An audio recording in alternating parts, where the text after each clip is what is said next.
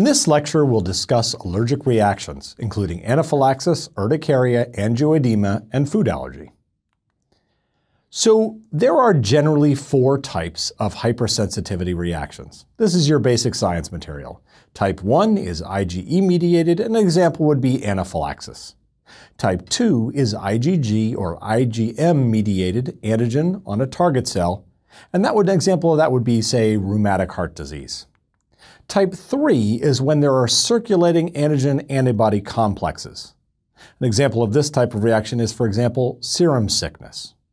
And a type 4 hypersensitivity reaction is generally a T cell mediated response, such as poison ivy or a PPD test, or milk protein allergy presenting as bloody, blood in the stool as an infant. So let's start with type 1 hypersensitivity reactions. In general, these require exposure to a protein that's large enough to be an antigen. So the patient has an initial exposure to that antigen and they produce an antigen-specific IgE.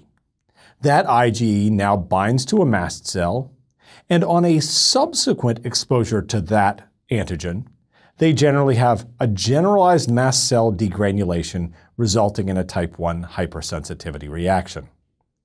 There are many things that can trigger such a reaction.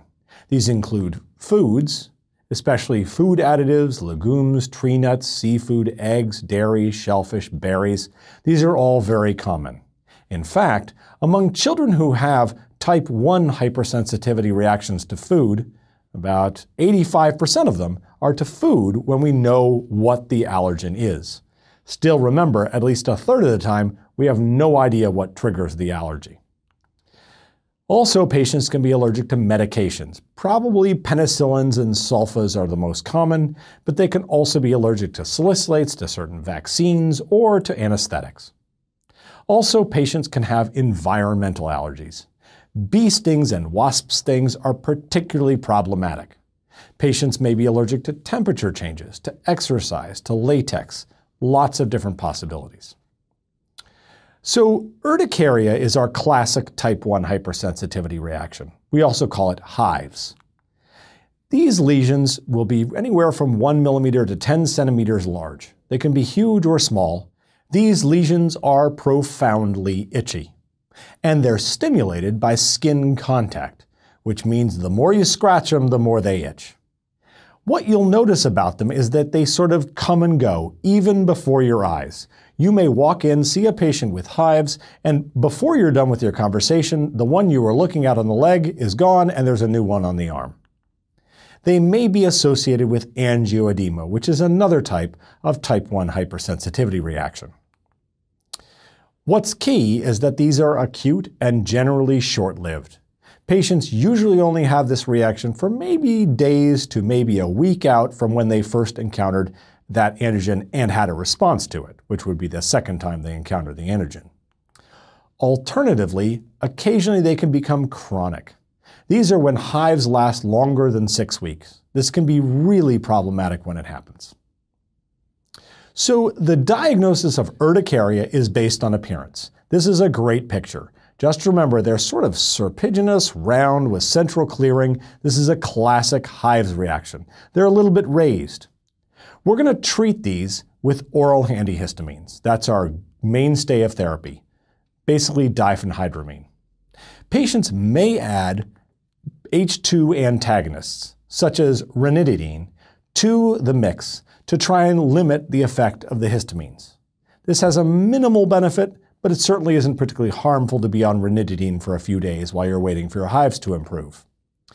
What's key is steroids are generally not helpful so we do not routinely provide steroids to patients with urticaria. So, angioedema, I mentioned this earlier. This is sort of like hives gone wild. This is a general localized swelling that happens in an area, often on the face.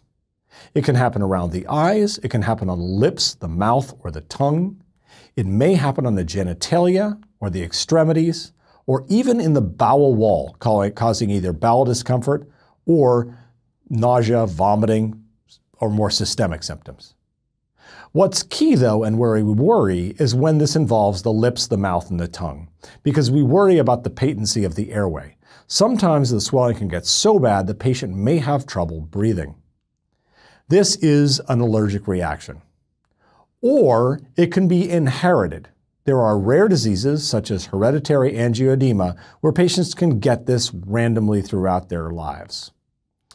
In specific, we sometimes see this to certain medications, and the classic one is the ACE inhibitor. Any patient on an ACE inhibitor who gets this reaction, it's an emergency because we may lose that airway. Additionally, NSAIDs can do this, and calcium channel blockers can rarely do this. The classic one is ACE inhibitors. So what do we do if we have a patient with angioedema? Well, first, remove the offending agent. Get them off the drug that's caused it or whatever's caused it, get, them out of the, get it out of them. Then, we're going to treat it similarly to hives. So we're going to give the Benadryl we talked about. We'll probably do that around the clock. We may add the Zantac. If the airway is involved, we generally will admit these patients to the hospital to make sure that that airway isn't going to become compromised. If the airway is obstructed, we immediately give epinephrine and provide immediate airway stabilization and airway support. It may require intubation and in very rare cases, an actual tracheostomy if you're incapable of getting an intubation. Sometimes a laryngoscopic intubation is needed.